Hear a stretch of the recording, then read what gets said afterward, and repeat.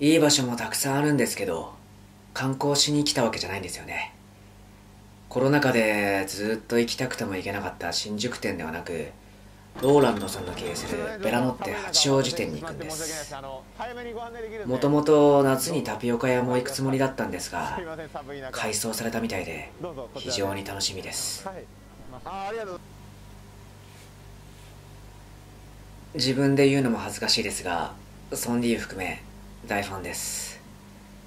いつも旅行先のホテルや旅館で飲みながらローランドさんの YouTube を見ることがすごく楽しみで最近は全て見尽くしたのでラン社長のチャンネルも見ています。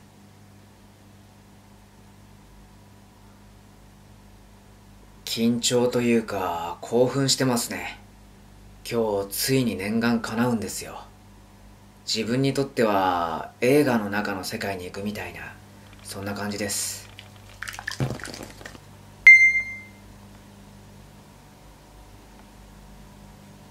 そうですね。やはりいつもに比べたら自分の持っている服の中でも高い部類の服は着てきましたね。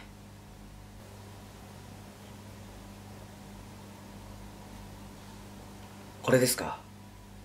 これはあの自慢に聞こえてしまうかもしれないのであまり言いたくないんですけどセカンドストリートで2800円です。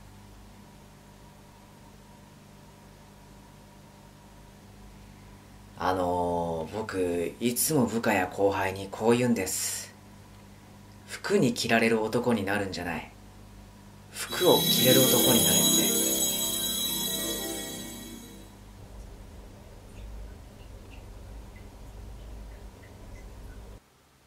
つまり何を着るかじゃなくて誰が着るかっていうことなんです。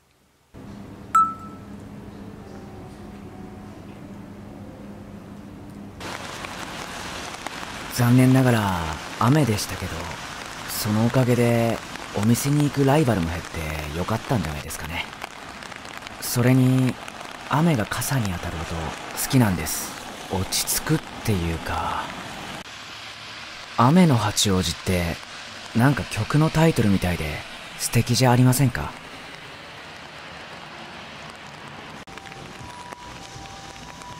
八王子は初めて歩きましたけどすごくいい街ですね。思っていたよりも大きくて活気のある街だなと感じました。先ほども言いましたがベラノッテに行くことは僕にとって映画の世界に行くみたいな感じなんですね。その映画の世界で演じる俳優になれるって考えたらすごく光栄なことです。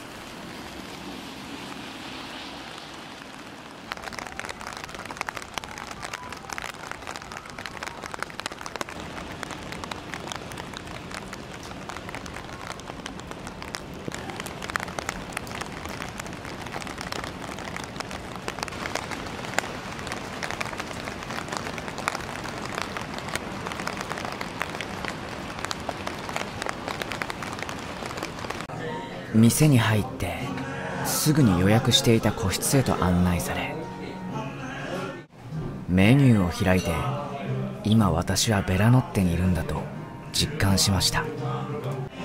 そしてこの料理見たことあるってつい興奮してしまいましたね。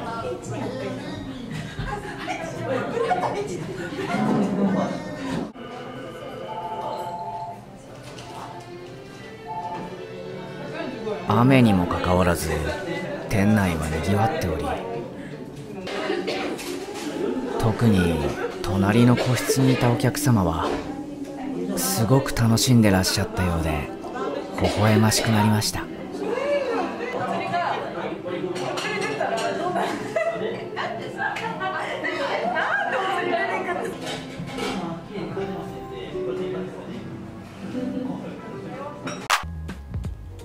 飯田湖のトマト煮うわこれだ。このなんか。動画内でローランドさんが美味しそうに食べてるシーンを見てうん。絶対に注文しようって決めてました。懐かしい。何回食べても懐かしい。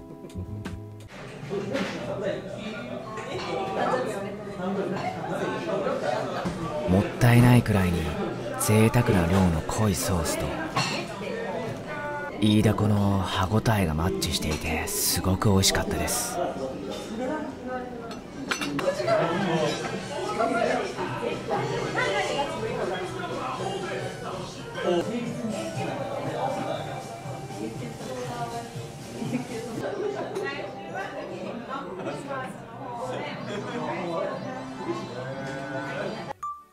で好きな食べ物はフィレ肉のロッシーニ風。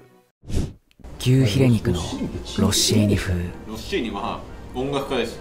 音楽家ロッシーニっていう音楽家がいて、めちゃくちゃ美食家だったんですよ。そのロッシーニがフィレ肉とはい。フォアグラとうん。トリュフっていう最最強の3つを、ま、混ぜたらマジですげえ料理になるんじゃねえのかって言って考えたのはこれなんですよ。あでも普段外食してもこういったおしゃれな料理を食べることはほとんどないですがこちらも動画内でローランドさんが熱弁している様子を見て食べてみようと思いました。でここの良さって多分通いやすさだったりとかだと思うんでだからそこら辺のバランス考えても最高の、まあ、一皿にはなったか実際このクオリティでこのボリュームでこの価格は非常にリーズナブルなんじゃないんですかね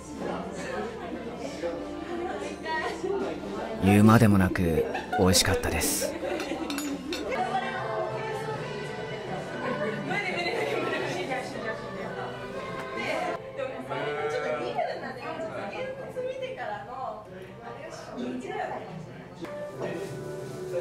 イイダコのトマト煮のソースが余ってもったいなかったのでバゲットを追加で注文。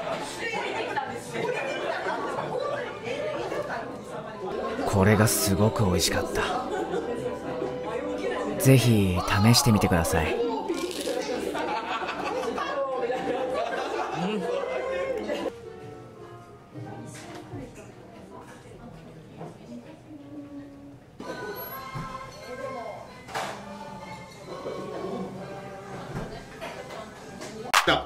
ミートボールスパゲッティ。うちのスペシャリテ。ー美味しそうもちろんこちらも動画内でローランドさんが強くお勧めされており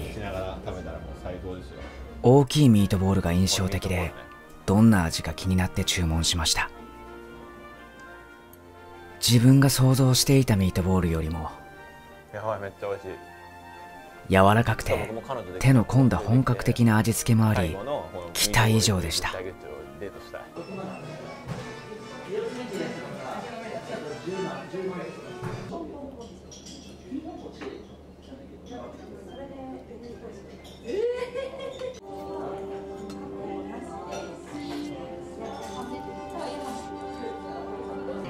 夢のような時間はあっという間に過ぎていきました。最後に店内に置かれているワンワン物語の展示物を拝見させていただき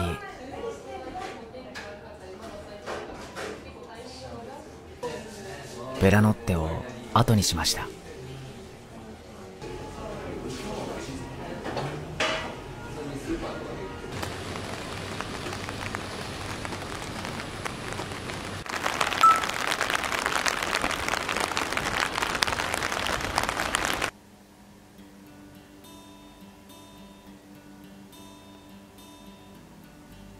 いやー忖度なしに美味しかったですね。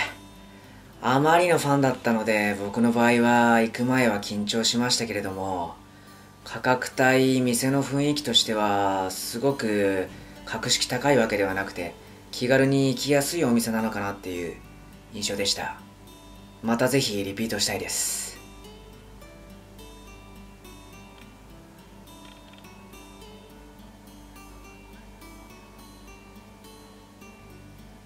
いつか部下や後輩をこのベラノッテに連れてきたら必ずミートボールパスタを食べさせるつもりです。そしてこのミートボールのような男になるんだぞってそう伝えます。